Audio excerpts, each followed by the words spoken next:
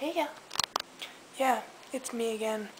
Here to talk to you about something that came to me today. So, uh, me and my friends were sitting there. We're just, you know, talking away. Don't remember what we were talking about. It's probably really random.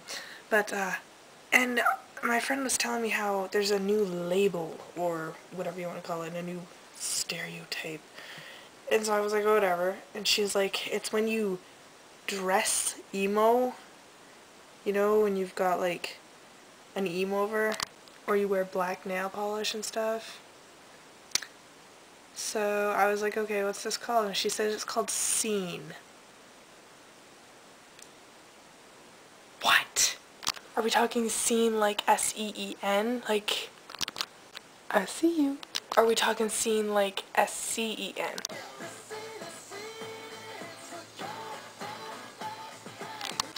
Pretty much just gonna like walk down the hallway now, sitting there with my friends and gonna be like, oh my god, that person is so seen. And they're gonna be like, what?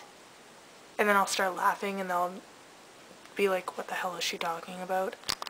You know, I've decided it's okay if people label me, but I'm just sitting here thinking, you know what? Label. Isn't that something you put on a can of soup? Now I'm being compared to a can of soup. Whenever I hear can of soup, all I can think of is Alphagettis.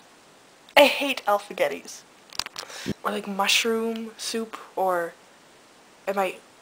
I want to get, I want to buy a label now that says chunky soup and just stick it on my forehead and be like, yes, I am labeled chunky soup. So if you want to call me like punk or rock or emo or prep or whatever, I don't really care because I know that I'm not a can of soup, so I don't exactly like have anywhere to put a label. You're gonna put a label like on my forehead, or so. I know it's not supposed to be literal or whatever, but honestly, label Come on, who does that anymore? I just realized I do a lot of air quotations.